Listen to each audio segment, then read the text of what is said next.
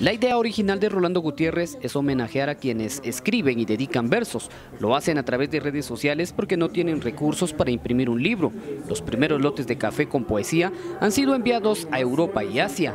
Creemos que las personas que aportan eh, de manera positiva a la comunidad merecen que su trabajo sea reconocido en vida, porque yo creo que es un incentivo que podemos darles para que ellos puedan seguir desarrollándose en ese tema. Y así es como nace entonces el proyecto para que el café de Huehue vaya acompañado de poesía. Explica que se han incluido versos de la poeta Belita Sánchez como un reconocimiento a esta labor que es poco agradecida por la población. No hay espacios, no hay cultura de, de lectura para empezar.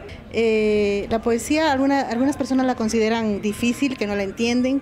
Entonces yo trato de que mis versos sean pequeños, sean cortos, para que a la gente le guste leer y no le cueste. La escritora dice sentirse orgullosa y motivada por esta iniciativa. Él creó eh, estas bolsitas de café con impresos los poemas, como una manera de, proyectar la cultura y el café.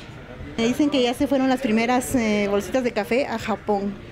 El café de Huehuetenango se considera el mejor del mundo y con la combinación de poesía ahora se promueve la cultura. Por una Guatemala en paz con imágenes de Heidi Samayoa, Mike Castillo, Noticiero Guatevisión.